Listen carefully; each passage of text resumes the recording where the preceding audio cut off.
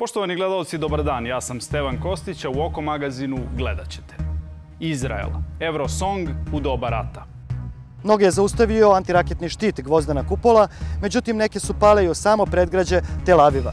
U Tel Avivu je mirno, život se odvija normalno i nema nikakvih vidljivih naznaka da je bezbednost ugrožena. Autoput do Grčke, očima reportera. Društvo i država, očima srpskih srednjoškolaca. Koliko vas misli da je za Srbiju veoma važno, veoma važno da uđe u Evropsku uniju?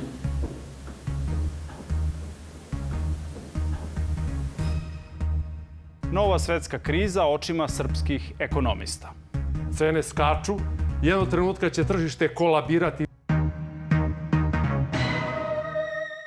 U antičkoj Grčkoj ratovi su prekidani da bi bile održane olimpijske igre. U Izraelu za nešto više od nedelju dana počinje Eurosong. Posle ozbiljnih raketnih napada u pojasu Gaze proglašen je prekid vatre. U napadima prethodnih dana poginulo je skoro 30 ljudi. 70 km dalje u Tel Avivu organizatori kažu da je potpuno bezbedno. Da li će lake note prigušiti teško naoružanje? Na licu mesta bio je reporter RTS-a Vladimir Banić. Mirno subotnje prepodne u Aškelonu iz Derotu koji se nalaze tik uz gazu, ali nešto dalje od Berševi prekinulo je raketiranje. Sirene gotovo da nisu prestajale poslednjih 48 sati u celom južnom delu zemlje.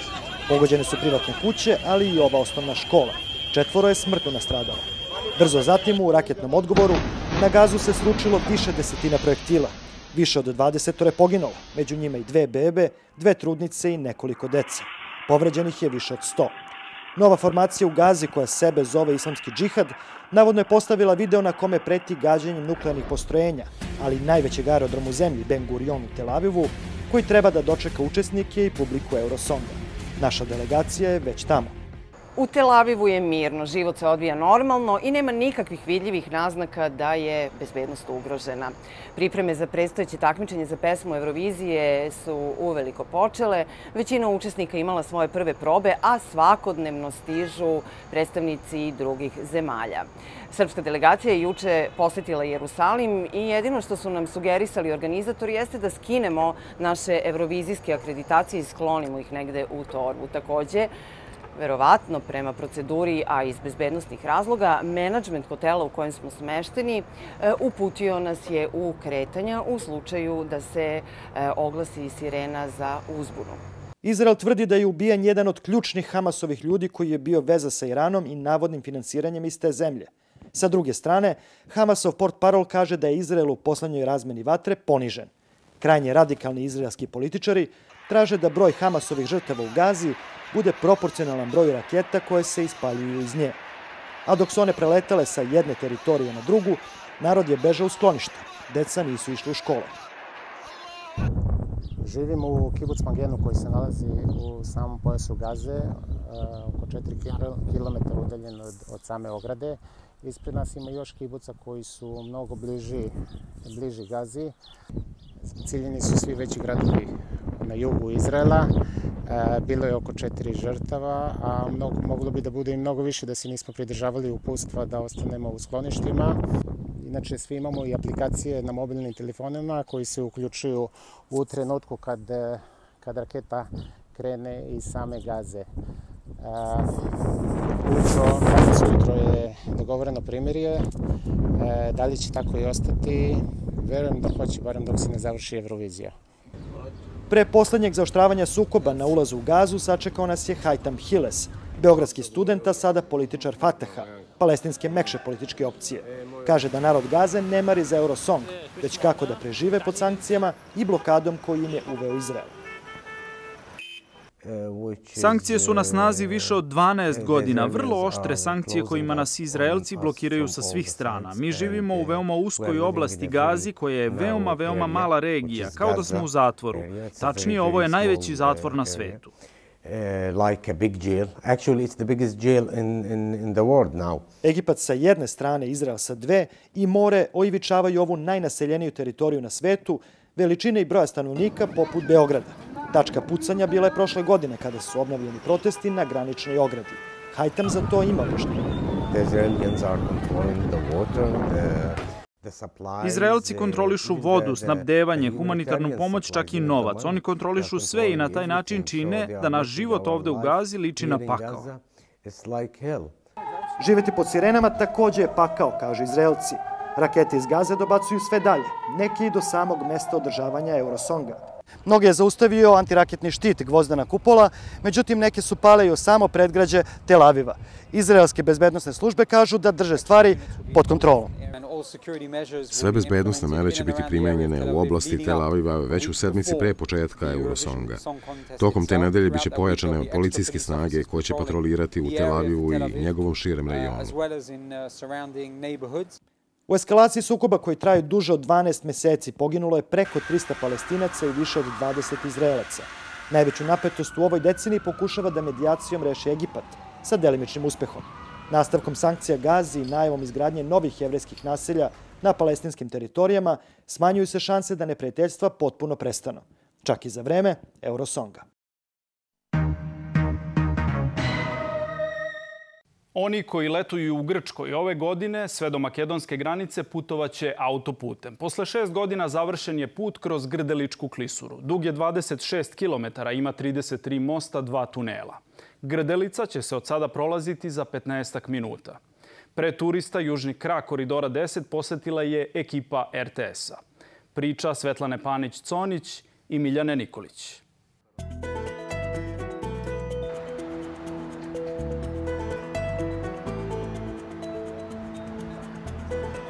Nedaće neizvestnost, nepredvidljivost nagovestio je već prvi dodir graditelja sa zemljom u Grdeličkoj klisuri. Složena geološka struktura, podzemne vode, pratili su ih sve vreme izgradnje autoputa koji menja stranu Južne Morave neprekidno. Premošćene sa 33 mosta, kod Predejane i sela Manele otvoreni su tuneli. Obrušio se potporni zid kod tunela Predejane. 11 meseci kasnije u Caričinoj dolini, avgusta prošle godine, tutnjalo iznad sela Boćevice i usporilo skoro završen posao. Velele na galeriji ili poluotvoren tunel spreman je za prva vozila. Kao što smo najavili, svi građevinski radovi su krajem aprila okončani. Upravo možete da vidite da je u toku čišćenje ispod galerije, da se radi testiranje osvetljenja i samim tim, posle završetka testiranja osvetljenja, galerija će biti spremna da primi prve putnike. 153 pobodena šipa, 102 stuba, skoro 180 spuštenih nosača, ukupno 9500 kubika betona i 2600 tona čelika ugradili su Neymar i Integral inženjeringa iz Republike Srpske u galeriju. Imaju razloga za zadovoljstvo. Osjeća se neka, neka ovaj, eto kao pobeda nad e, svim nedaćima, teškoćama koje smo imali u toku, toku izgradnje, znači zato što je izgradnja bila izuzetno teška i dugotrajna i mukotrpna i tako. Nije bilo lako savladati Grdeličku klisuru? Ni malo, ni malo, znači bilo je dosta zahtevno, znači tako da, ovaj, da smo imali dosta problema, međutim na kraju sve se to ovaj, savladalo i evo kao što vidite već smo, već smo pred završnicom samo. Problem na Kosini 2 koji se javio u avgustu prošle godine rešen je izgradnjom galerije dugom 150 metara i skidanjem 170.000 kubika zemlje. Trajna sanacija nastavit će se i nakon otvaranja autoputa, ali neće uticati na bezbednost saobraćaja. Posle će i nakon otvaranja biti na trajnoj sanaciji još četiri kosine. Na kosini 5 je najviše posla. Zemlja ne miruje na dužini od 430 metara. Radovi su visoko u brdu, pa bojazni za sigurnost nema, samo stotinak metara iznad prvog od dva tunela. Tunel predvene dug je 1073 metra. Ispred njega u pogonskoj stanici 1 sa pomoćnim tehničkim operativnim centrom montira se oprema. Trenutno se nalazimo ispred pogonske stanice Predajane 1 u kojoj se nalazi srednjenaponska posrednja 10 kV i niskonaponski deo 0,4. 0,4 napaja tunel sa kompletnom instalacijom za ventilaciju, za rasvetu i kamere, za znakove. U samom tunelu kontrola i završni radovi na napajanju tunela. Ostaje samo da se istestiraju kablovi i da se zatvore kablo kanali. Jedan tunel je dug e, kilometar, drugi 1800 metara. Da li putnici mogu da se osjećaju bezbedno? Tuneli su rađeni po najvišim evropskim i svetskim standardima bio je međunarodni tender, javilo se sedam ponuđača, izabrana je najjeftinija ponuda, pobedila je azerbejdžanska kompanija Azvirt, vrednost radova je skoro 13 miliona evra, iako zamislite da ugrađujemo opremu vrednu 13 miliona evra u tunele, onda možete da zamislite koliko je vođeno računa o tome da svi putnici budu besplatni. Na izlazu iz tunela još jedan graditeljski poduhvat. Čitava petlja urađena je na stubovima iznad Južne Morave. O činjenici koliko je u klisuri malo prostora govori podatak da je petlja predejane morala biti izvedena iznad reke i po tome je jedinstvena u celoj Srbiji. Između dva tunela Momin kamen. Teško je danas zamisliti da je ovde na mestu kolovoznih traka nekada bilo čitavo kameno brdo. Skidano je etapno godinu dana, ukupno 800.000 kubika kamena. Sledi najduži tunel u Srbiji, Manajle, dug 1808 metara. U njegovo opremanje smestilo se stotinu kilometara kablova. Ispred, centralni tehničko-operativni centar sa mnoštvom sistema za bezbednost. Svako vozilo koje ide malom benzinom u tunelu predstavlja potencijalni rizik za bezbednost saobraćaja. U slučaju da se pojavi takav incident, preko odgovarajuće svetlosne signalizacije obavestit će se vozač da treba da, da ubrza i pomoću odgovarajućeg razglasa obavestit će se da mora da ubrza, odnosno da parkira vozilo na odgovarajućim mestima i da napusti svoje vozilo. Tunel Manele ima dva prolaza za vozila, dva poprečna prolaza za vozila i šest za pešake. Oni služe da u incidentnim situacijama e, jednostavno saobraćaj bude preusmeren iz jedne u drugu cev ili da pešaci u slučaju većih incidenata kao što je na primjer požar u tunelu e, pređu bezbedno u drugu tunelsku cev kako njihovi životi ne bi bili ugroženi. Na putu dugom 26,3 km ostaju još dva mosta. Džemin do visok je 60 metara, dug 594,4 metra, Vrla dug 644 metra, visok 62. Postoje simbol Vladičinog Hana i juga zemlje.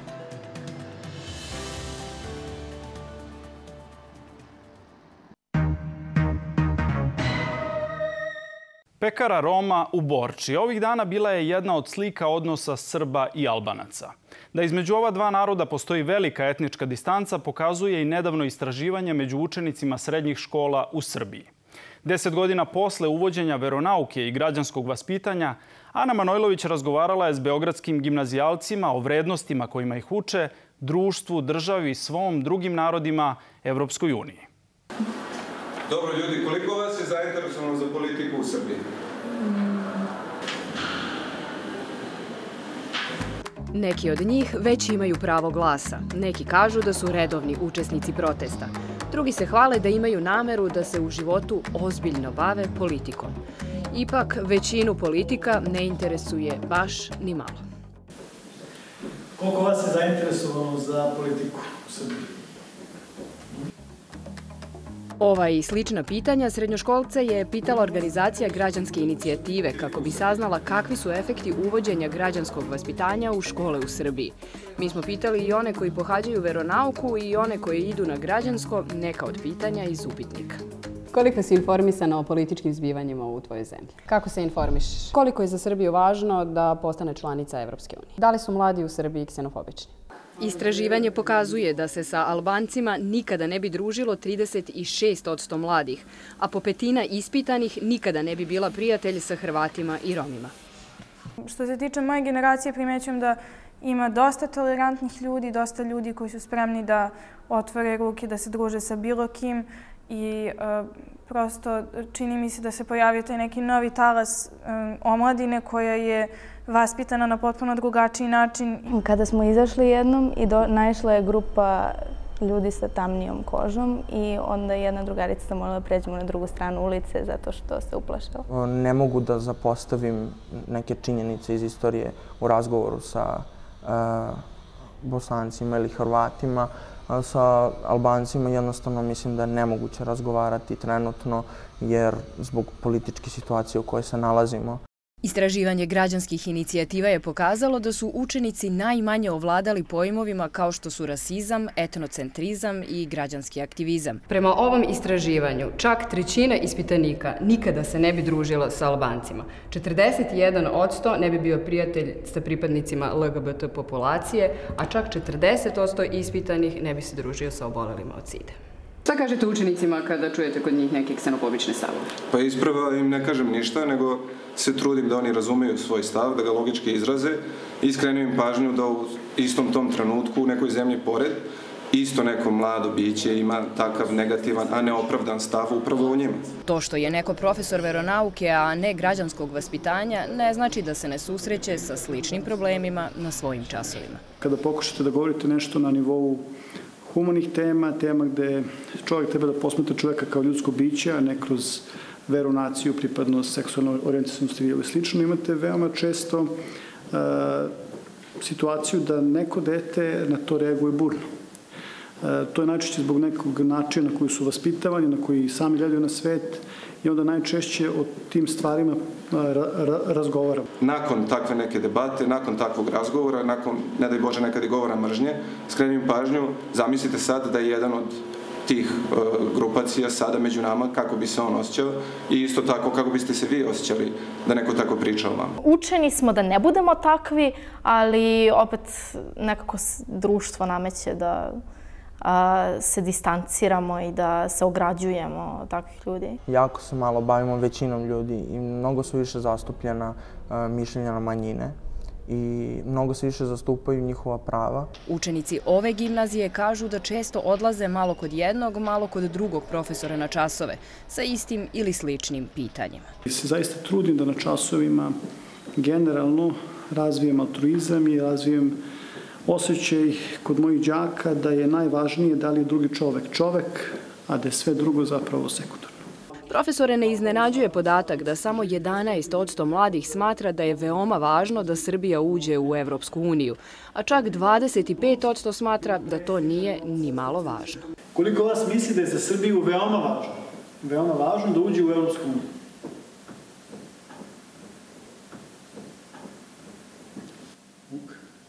Koliko vas misli da je važno za Srbiju da uđe u Evropsku uniju?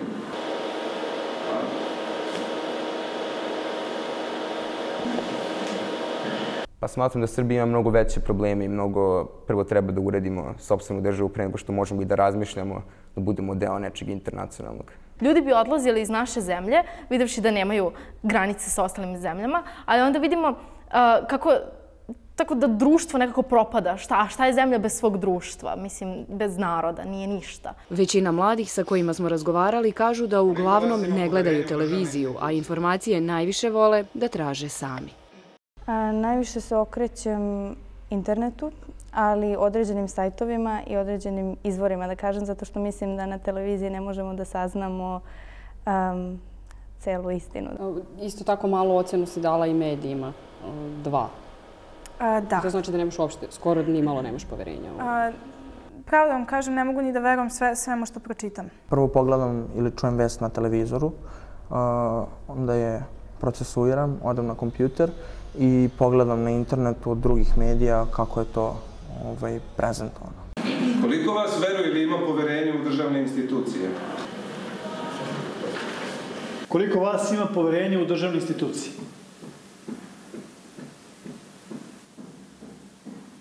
Srednjoškolci najviše veruju sebi, roditeljima, prijateljima i verskim institucijama.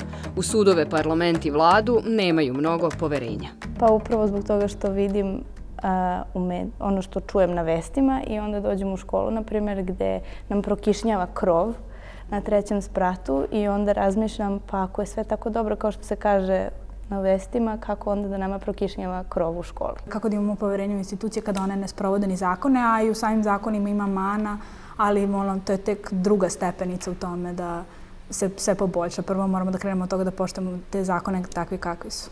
Profesor građanskog vaspitanja kaže da je teško predavati predmet u kojem se praksa toliko razlikuje od teorije. Ako vi predajete kako država treba da funkcioniše i šta je građani, koje su njegove nadležnosti, koje su nadležnosti suda, koji su, kako treba da funkcionišu određeni organi, onda oni znaju da to nije tako u praksi, ovaj, svima nama je samo otežana situacija, ali mislim kad bi oni videli i saznali da to može u praksi da funkcioniše na način na koji treba da funkcioniše, zakonski ovaj, način, mislim da bi onda promenili oni svoje stavove. Ni vere ne nedostaje da će ovim đacima pravi pristup profesora pomoći da povrate poverenje u institucije. Ja mislim da su to deca koje dolaze i koje će zauzeti svoje pozicije u državnim institucijama. Ja mislim da su oni ti koji treba da povrate poverenje generacije koje tek dolaze. Tako da ja mislim da i mene, mene raduje kada vidim da su deca oduševljena nekim idealima, političkim, vrednostnim. Samo treba da im pomognemo da se ne, ne razočaraju. Da se ne razočaraju, u ovoj školi se trude i veroučitelj i profesor građanskog vaspitanja. Ipak, rezultati istraživanja pokazuju da je pred srpskim školstvom još mnogo posla.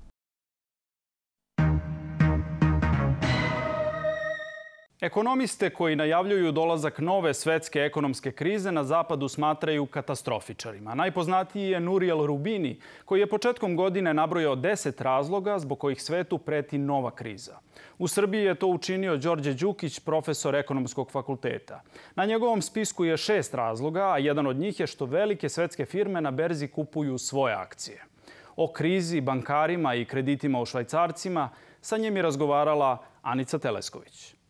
Vi recimo znate da je jedan od ekonomista koji najglasnije na svetu upozorava da nova kriza stiže, Nuriel Rubini, koji, koga su zbog toga što je predvideo prethodno prozvali doktor Propast. Jeste li vi srpski doktor Propast? Ja nisam srpski doktor Propast, ja sam samo, znate, američki đak koji je završio postdoktorske studije na Stanford, učio od čuvenih ljudi poput Stiglica, Johna Taylora, McKinnona i znate, oni su mi usadili fundamentalnu analizu na kojoj moram zasnivati sve svoje sudove koje izričem. Ovo što ste vi s pravom pitali, ja hoću da vam samo dam dva argumenta. Ključni argumenti, ako imate negativne kamatne stope na štednju, srpski rečeno kažnjavate štediše. Ako to dugo traje i ako to bude još duže trajalo, ne može znate da ne prođe nekažnjen s aspekta izazivanja krize. Jer građani gde beže? I u Evropi suda. Kupuju nekretnine, kupuju zlato, stavljaju novac u, u trezore, molim vas, na granici Švajcarske Italije niz kompanija osnovalo trezore da ljudi stave keš jer ne znaju šta će u ovom trenutku da radi zbog moguće krize. Neproduktivne investicije izazvane činom, ovo što ste vi spravo pitali, dugo već godine upražnjavane negativne kamatne stope će produkovati, ja vam tvrdim kao ekonomista, loše efekte zbog mogućeg šta? Krize, recimo, ako kupujete mnogo nekretnine, cene skaču, jednog trenutka će tržište kolabirati između ostalo. Znate šta, izgubit će se sila novac od tih istih koji su bežeći od štednje u bankama, znate, po realnoj kamatnoj stopi, znači nešto iznad stope inflacije, radili to što rade. Vi prognozirate recimo da će dolar zbog svega toga jačati. Šta to znači za nas kao, ne, kao zemlju koja se zadužuje u dolarima i 30% državnog duga je u dolarima? To znači, vidite, da je sva naša sreća da te desetogodišnje obveznice koje se svojevremeno vlada zadužila daleke, vi znate, 2012. godine, septembra kad su emitovali milijardu euro obveznica, da podsjetim vaše gledalce, kamata astronomska preko 7 procenata. Nije se kupila zaštita od budućih promjena kursa dolara u odnosu na euro. To će da istekne na sreću, znate, za dve godine, ali izvinite, mi smo platili visoku cenu kad god je dolar skakao u odnosu na inicijalnu tačku, jer je to bila šta kursna razlika koja je morala da servisira država, koja gro ostvaruje, molim vas, u evrima. I ja ovo potenciram zato što je odgovornost ekonomista, da vaši gledalci shvate, ne da kritikuje, kritizira, nego da blagovremeno, znate, upozori na to. Sva ta upozorenja, znate, su bila suluda. Ja hoću da vam kažem striktno kao čovjek koji je bio i centralni bankar. Nikada ne bi dopustio sebi da potpišem takav dokument koji bi omogućio da zemlja, kad imate poplavu novca, se zadužuje po kamati preko 7 procenata, svi mi porezki obveznici plaćamo. Profesore, pre deset godina bili ste jedan od onih ekonomista koji je upozoravao na švajcarac. Kako sada komentarišete to što država taj problem rešava specijalnim zakonom? Pa mislim da je država trebala ovo ranije da reši. Znate, jer taj obim kredita u Srbiji na sreću nije bio toliko veliki odnosu na Hrvatsku, Mađarsku i druge druge zemlje, a s treće strane ono što je ekonomski pravno, znate, kada dug postane totalno neodrživ zbog šokova koji se zovu enormni sad skok kursa franka, onda i sudska vlast, a boga mi banke sami bez sudske vlasti su trebale da vode računa da klijentima koji su potpuno nesposobljeni, znate, da ima elementarnu egzistenciju da žive u stanu, da budu dovoljno tolerantne, da otpišu deo duga i da faktički, znate, jednostavno moguće klijentima da to uredno servisira na bazi konverzije franka u u evro. I šta će na to reći zaduženi u evrima? Pa ništa, čujte u evrima, ja mislim da treba da piju mirno kafu i da kažu da su jako srećni što su pametan potez povukli. Bilo da ih neko savjetovao ili su imali jednostavan rezon evro, a jednostavan evro, e, rezon jeste, znate, nekada marka dominanta, radi sve u nemačkoj marki, sada je evro, radi sve u evrima, a ovo je, znate, lako mislenost, ja bi taj izraz upotrebio, znate, inače svojstvena nama, da na prvi pogled, znate, ne čitajući one fusnote ugovorima i sve koje su bankari ispakovali, kažu pa dobro, ovo je niže, tada je bilo, sećate se, smešno niska efektivna kamatna stopa u nominali u odnosu na evre. A nisu čitali ovo šta se može desiti e, sa, molim vas, sa Frankom i ono što ja opet potenciram, e, sjajna uloga RTS-a u tom smislu kao javnog servisa, pozvala je ljude tada, sticaju okolnosti sam ja bio, dužno da ljudi kažu šta ih čeka i da stoje, znate, iza tog predviđanja i dalje o tome da ne pričaju. Ko hoće neka donosi odluku kako donosi, ali ja vam tvrdim samo jedno. Svaka dalja igranka, sada na relaciji opet, ovo znate, dolar, evro, švajcarski franak, evro, totalno hazardiranje. Samo jedan mali potez, u ovom slučaju ovo što sam vam rekao, šef američkog Feda, da recimo dođe do konstelacije da odbor guverner kaže ne, mi ne želimo, mi ćemo krenuti polako povećanje kamatne stope. Zašto? Zato što je tržište radne snage tamo napregnuto, stopa nezaposlenosti nikad niža, troškovi radne snage rastu, znate, onda, kakve će implikacije biti? Pa dolar će normalno šta? Brutalno skočiti, brutalno, znate, tržišnom cenom. U toj daljoj igranci, šta čeka Srbiju i da li Srbija krizu dočekuje spremnija nego pre 10 godina? Sigurno da dočekuje spremnija ako ništa drugo, znate što je udeo duga javnog u BDP-u opao. Pa čujte, mi sada moramo e, domaćom potrošnjom, bih rekao, izgradnjom infrastrukturnih objekata da rešavamo šta? Ono što u eurozona polako klizi u nižu stopu privrednog rasta. Vi znate da su Nemačka i Italija glavni spoljnotrgovinski partneri. Tako da mi moramo delom kompenzirati to što nam tržište izvoza tamo u te zemlje onemogućava da domaćom potrošnjom, to nije, znate, terapija prava, ali biraju postojećim uslovima to što može. Trenutno jedan od najboljih igrača NBA lige, Nikola Jokić. Sinoć nije igrao 65 minuta, po čemu je već ušao u istoriju. Ali je doneo pobedu Denveru i svoju ekipu sada vodi ka finalu Zapada. Uz Jokićeve poteze završavamo emisiju koju možete ponovo pogledati na YouTube-u i platformi RTS Planeta. Prijetno večer. 33 points, 18 rebounds and 14 assists in his third triple-double in his first 10 playoff games. Torrey Craig from the corner, in and out. Jokic with the offensive board and the putback. Great hands by Jokic. Right-handed tipping, beautiful work there by Jokic. Murray to Jokic. He'll pull along two. Off the wind, that big fella. He did not call. Quarter scored 10 points in about a seven-minute span in the first quarter, but has not scored since. And inside, all his threes. Shot clock down to four. Here goes Murray. Gives it up. Jokic passes up on a three. Now he'll take a long two. No. And another one off the window. Jokic on a right-handed drive. Jump hook is what a pass by Jokic. Oh, Murray with a silencer with 7-10 left in this fourth quarter. Will Barton all the way in, misses. Jokic a standing one-handed rebound. Murray to Jokic. He hangs. He's fouled.